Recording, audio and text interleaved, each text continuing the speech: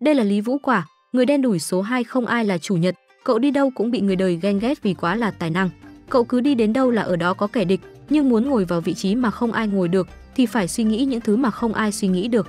Cũng có thể là ngô hết phần người khác, thôi thì chúng ta vẫn phải cùng Lý Vũ Quả trải qua bao khó khăn mà cứu thế giới. Tiếp tục tập trước, Lý Vũ Quả thành công giúp Hà Long hủy đi hôn ước của Mộc Uyển Nhi và Lâm Thiếu Gia.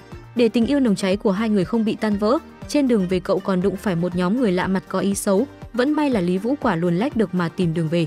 Tên cầm đầu trong nhóm người kia muốn đuổi theo để kiểm tra Lý Vũ Quả nhưng đã bị những anh em khác trong đội ngăn lại. Bọn họ đều gọi tên cầm đầu này là công tử. Có lẽ thân phận của hắn là không hề bình thường. Theo những gì bọn chúng nói thì mình biết được bọn chúng tới đây là để làm theo lời của cha tên công tử kia. Chính là việc đi tìm tác giả của Phong Vân Đại Kim Lục. Công việc này cũng có nhờ qua thông minh tự, nhưng lại bỏ ngỏ quá lâu nên bây giờ bọn chúng phải tự mình đi làm. Một tên mập tóc trắng đánh nhanh bát mì trước, bảo cả nhóm hãy đi tới đại thư cục để xem xem. Chúng ta trở lại với Lý Vũ Quả, cậu thành thơi về nhà, vừa vào là đã thấy vợ yêu đang ngồi ngoài ghế đá, vẻ mặt không mấy vui mừng khi thấy chồng về, hỏi ra mới biết là đang nhớ nhà. Nhớ nhà, vậy ta cùng muội trở về thôi, nhân tiện còn có thể gặp gỡ nhạc mẫu, sau đó bàn chuyện kết hôn. Bạch Cốt ai cắt ngang sự háo hức của Lý Vũ Quả bằng một câu lệnh băng không thể về. Lý Vũ Quả muốn hỏi tại sao nhưng vợ yêu không thể nói, nam chính quay xe 180 độ, giả vờ bỏ nhà ra đi, đợi lúc nào Bạch Cốt ai nói thì mới về. Bạch Cốt ai lo quá phải hướng theo Lý Vũ Quả, hỏi chồng yêu giận sao. Không có, ta chẳng qua là cảm thấy hình như vừa bỏ quên chuyện gì đó rất quan trọng nên phải đi xử lý gấp. Lý Vũ Quả nói vậy nhưng Bạch Cốt ai vẫn rất lo lắng. Không phải lo lắng Lý Vũ Quả giận mình mà đi mất, có lẽ cô lo lắng Lý Vũ Quả khi biết bí mật mình nói ra sẽ có cái kết như thế nào. Lý Vũ Quả nói đi là đi luôn, cậu bịt mặt, che chắn kỹ càng để đi đến giao ngoại của Cửu Tiêu Thành, kiểm tra qua là đã thấy được vết chân ngựa. Dấu móng ngựa này còn sâu tận hai phân, chắc chắn là xe tù chuyên chở nô lệ, điều đó chứng tỏ những gì Lâm lão nói đều là đúng. Và Tiêu Vân Sơn này chính là Thâm Sơn đó, nhưng dừng khoảng chừng là hai giây, Lý Vũ Quả phát hiện có người đang theo dõi mình, liền cắt đứt cái cây mà kẻ bí ẩn kia đang núp sau, không ngờ đó lại là Bạch Cốt Ai, nhận thấy mình đã gây ra nguy hiểm cho nhầm người. Nam chính liền chạy đến để xem vợ yêu có bị làm sao không, còn hỏi tại sao lại đến đây theo mình. Muội sợ huynh tức giận, Bạch Cốt Ai nói. Tất nhiên là Lý Vũ Quả không thể dẫn nóc nhà của mình rồi, đang định dỗ vợ yêu theo sách đã dậy thì Lý Vũ Quả lại phát hiện có người đến, vội ôm Bạch Cốt Ai lại rồi núp đi. Người đi đến là Lý Tam Nguyên, Lý Vũ Quả tự hỏi tại sao ông ta lại ở đây, nhưng để an toàn, cậu kêu Bạch Cốt Ai trốn ra xa mình một chút, Bạch Cốt Ai đồng ý, để Lý Vũ Quả một mình ở đó. Lý Tam Nguyên đi qua nhưng ông ta không phải bị mù, thấy cái cây gây ở bên đường tất nhiên là phải nghi ngờ. Ông chém một đường kiếm khí cực mạnh xé tan mấy cái cây còn lại, may mà Lý Vũ Quả nhé kịp không là đi mất nửa thân dưới rồi. Uy lực của cú chém vừa nãy phải nói là kinh người, Lý Vũ Quả bị lộ, nhưng đã có khăn mặt bịt kín. Lý Tam Nguyên không thể nhận ra, chị ơi giao hỏi Lý Vũ Quả là thằng nào. Lý Vũ Quả bình tĩnh không tỏ ra là mình có sát ý, bảo bản thân là đi ngang qua đây, Lý Tam Nguyên không tin. Nghi ngờ là người của thông minh tự, sợ rằng bí mật về kế hoạch của mình và Lý Trấn đã bị phát hiện. Lý Tam Nguyên lao vào ép Lý Vũ Quả phải nói ra thân phận thật sự, hai người chém nhau tung tóe, hai thứ vũ khí múa lửa với nhau. Vừa đỡ đòn Lý Vũ Quả vừa nói là hiểu nhầm nhưng Lý Tam Nguyên không dừng lại, ông ta đột ngột tăng lực chém. Phút chốc chém bay cây kiếm của Lý Vũ Quả đi, rồi đạp cậu đập thẳng vào một cái gốc cây. Lý Vũ Quả cay vì cỗ thân thể này của cậu còn quá trẻ, không có cách nào phát huy hoàn toàn được thực lực của võ hoàng. Lý Tam Nguyên tiến sát lại, kề dao vào cổ Lý Vũ Quả hỏi ai phá cô đến, không nói là về trời, Bạch Cốt ai lo cho chồng yêu. Tính chạy ra nói cho Lý Tam Nguyên biết đó chính là Lý Vũ Quả, đột nhiên ông ta lại lờ đờ rồi ngất đi. Thì ra Lý Vũ Quả không đánh nhau bằng tay, mà là cả tay lẫn dùng cái đầu, cậu đã vụ trộm dùng ám khí làm cho Lý Tam Nguyên ngất đi. Đáng nhẽ ra Lý Vũ Quả không thể làm vậy, là do Lý Tam Nguyên khinh địch lên Lý Vũ Quả mới có cơ hội. Hiện tại ông ấy sẽ không tỉnh lại trong một khoảng thời gian ngắn, vấn đề bây giờ là xử lý hiện trường, hành tung của Lý Vũ Quả và Bạch Cốt ai không thể bị bại lộ. Nhưng Lý Vũ Quả đã có cách, Lý Thúc thường xuyên làm hỏng việc do uống rượu, Lý Vũ Quả có thể tạo nên một hiện trường giả là ông ấy đã uống rượu mà đánh nhau nhầm với mấy con gấu. Bạch Cốt ai thấy thương cho Lý Tam Nguyên bị Lý Vũ Quả lừa, thấy cũng tội nhưng thôi cũng kệ.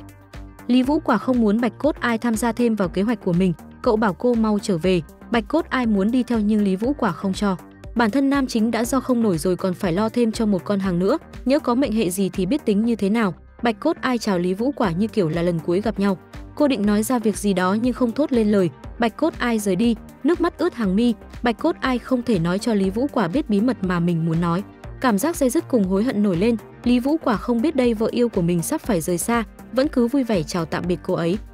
Thật ra lần này Lý Vũ Quả không cho Bạch Cốt ai đi theo là vì cậu biết bí mật ở trong thâm sơn này sẽ cực kỳ tàn khốc. Là con của một ông buôn người, nam chính không muốn người khác gánh tội cùng. Nhưng những thứ tiếp theo lại làm Lý Vũ Quả bật ngửa, Sâu bên trong thâm sơn là một doanh trại khá là lớn, tù binh canh gác và tù binh canh gác thực lực đều là đại võ sư. Bây giờ Lý Vũ quả mấy ngớ ra, từ trước cho tới giờ Lý Trấn đều đang ngụy trang việc bán nô lệ để đóng quân ở Tiêu Vân Sơn. Nhưng tự mình đóng quân chính là dính dáng tới đại tội của cửu tộc. Lý Vũ quả không biết Lý Trấn muốn làm gì, đột nhiên cậu nghĩ tới một ý, chính là ông ta muốn tạo phản. Cảnh chuyện chuyển tới với Bạch Cốt Ai, sau khi về nhà, Bạch Cốt Ai viết thư giã từ, lúc này cô mới để cho mọi người biết lý do mình phải rời xa anh yêu. Trong cuộc nói chuyện với Lý Trấn, thật ra ông ta không muốn cô rời xa nam chính, ông viết hai người đối với nhau là thật lòng. Nếu bây giờ chia ly cách biệt thì thằng con mình sẽ rơi vào bể khổ của tình yêu, nhưng có một vấn đề Lý Trấn phải nhờ Bạch Cốt Ai. Đầu tiên ông ta nói thật Lý Vũ Quả không phải là con trai ruột của mình, huyết dịch đang chảy xuôi trong cơ thể nó là của Nam Việt hoàng tộc. Bạch Cốt Ai thật sự rất bất ngờ, Lý Trấn kể, năm đó lão phu là mưu sĩ của thái tử, còn Tam Nguyên là thị vệ của thái tử.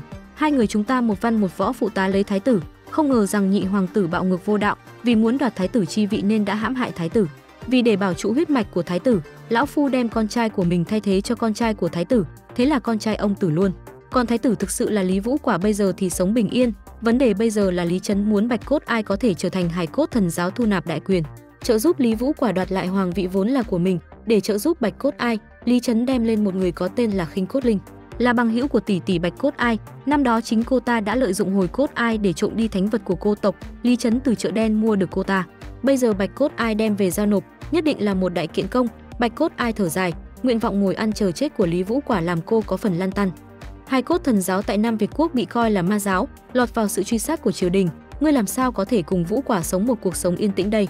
Chỉ khi Vũ Quả đoạt lại hoàng vị mới có thể thay các ngươi rửa sạch vô danh ma giáo, tới lúc đó người và Vũ Quả mới có thể sống một cuộc sống yên tĩnh.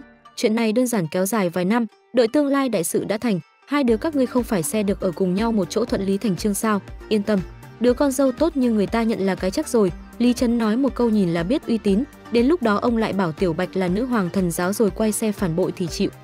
Đó chính là lý do chính bây giờ Bạch Cốt ai viết thư tạm biệt Lý Vũ Quả để quay trở về, lấy lại chiếc ghế thánh nữ của cốt tộc để tạo nên một nơi bình yên cho hai người sống một cuộc đời ngồi ăn rồi chờ chết. Bạch Cốt ai lên con xe ngựa mà Lý Trấn chuẩn bị sẵn, tất nhiên là trên đường từ đây đến cốt tộc cô sẽ không gặp phải trở ngại nào. Chiếc xe ngựa đưa Bạch Cốt ai vừa đi thì Lý Vũ quả về, cả ngày hôm nay đều lang thang quên mất chăm lo cho vợ yêu, làm cậu hớn hở về hơn. Nhưng đáp lại sự hào hứng của nam chính là một tờ giấy đặt ở trên bàn, thời gian địa điểm rõ ràng, Lý Vũ quả đọc mà rơm rớm nước mắt. Đoạn này ghép lời Tây Du ký thì phải nói là lấy đi rất nhiều nước mắt của anh em luôn, Lý Vũ quả tức giận cầm lấy cái châm cài. Ở Hạo Thiên thế giới cũng phải rời xa hai người vợ bé vì lý do gia tộc, không ngờ ở thế giới mới cũng lạ gặp chuyện như vậy. Nam chính chưa kịp khóc một dòng sông thì Lý Trung chạy vào, nói với Lý Vũ Quả là có chuyện gấp, đột nhiên có vài vị quý nhân tới thư cục, chỉ đích danh là muốn gặp Lý Vũ Quả. Lập tức Lý Vũ Quả cùng với Lý Trung đến từ cục để xem thằng trẻ trâu nào đến tìm mình, ai ngờ lại là bốn tên lúc trước kiếm chuyện với Lý Vũ Quả ở quán ăn. Tên công tử tóc màu hồng lúc này lại rất lễ phép, giới thiệu từng người một, Đỗ Tử Đằng là tên tóc bạc thân béo, Ôn Tử Chiêu là tên thân gầy tóc đen, Tất Tử Dương là tên thân vừa tóc nâu, và cuối cùng vị công tử hào hoa nhất mang khăn che mặt chính là văn nhân Khinh Vũ. Lý Vũ quả nhìn Khinh Vũ, bao ký ức về vô ưu quay lại, phải nói Khinh Vũ giống đến 99,99%. ,99%. Khác mỗi cái tên, Lý Vũ quả không hiểu tại sao như người quen ở thế giới cũ lại xuất hiện càng nhiều ở đây, cho dù chỉ là hơi giống, à không, hàng fake của Trung Quốc. Kết thúc video ngày hôm nay, để xem phần tiếp theo thì bạn hãy bấm vào kênh Triệu Gia, chọn danh sách phát để xem tập mới nha. Đừng quên đăng ký kênh để đón chờ nhiều video review hay sắp tới. Xin cảm ơn và hẹn gặp lại.